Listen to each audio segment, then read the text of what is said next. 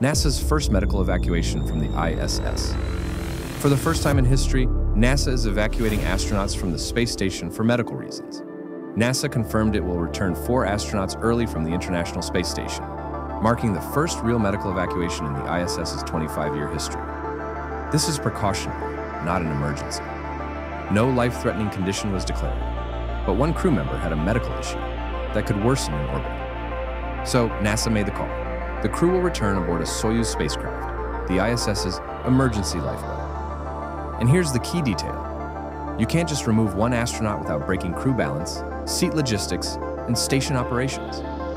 This is system-level risk management, not panic. This isn't failure. This is the system doing its job.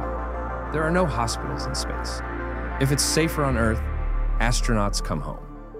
That rule becomes even more critical for Moon and Mars missions, where evacuation won't exist at all. So here's the real question.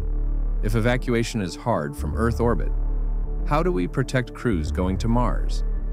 Drop your thoughts below.